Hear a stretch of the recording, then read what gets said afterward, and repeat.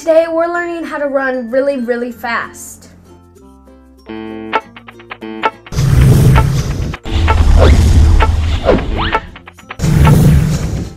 Hello everybody, my name is Oliver Leopold. So today I'm going to give you my first After Effects tutorial on how to make it look like you have super speed and make it look realistic.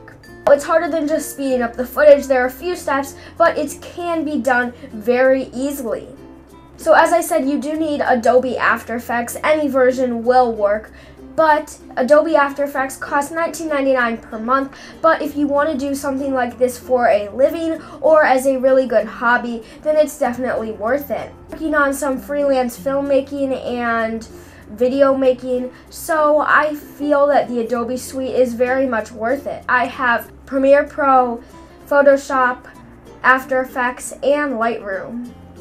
Let's just get started with the tutorial.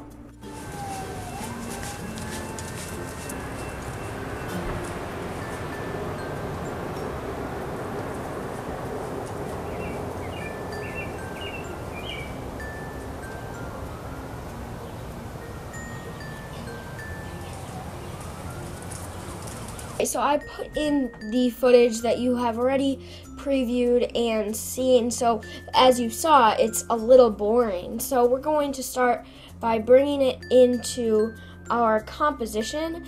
Now I can scrub through it and figure out when I want to start. Okay, so right here, that's exactly where I want to start. So I'm going to do Control Shift D and just remove this. Now I can bring it all the way up to the beginning.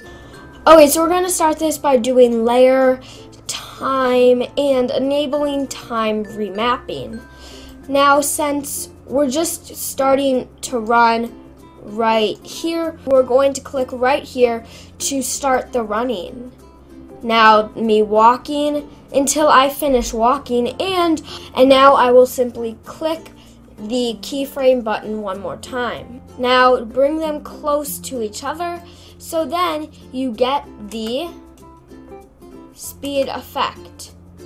Okay, but this honestly will not look much different than just speeding up the footage because that's all it's doing right now. It's just speeding up the footage. So what we're going to do is select these, hit effect, time, CC, force motion blur. Since you should be using a tripod with this, it's going to blur anything that's moving. As you see, we get our speeding footage and it looks really nice, but there's one last step that I always like to add. Hit P right here for position. Don't worry, it'll still keep everything you had. And once you hit this stopwatch, Make a keyframe at the beginning and one at the end. Highlight them both. Make sure it's on jagged and 10 and 10. If you don't even see this window, go over to window and then wiggler. Hit apply. Okay, so now, as you know, anything that moves previously is blurred. That's why we get that blur moving from there to there. Now, to make it seem like this isn't a very edited or planned thing, we're going to basically remove the tripod effect while not removing the blur there.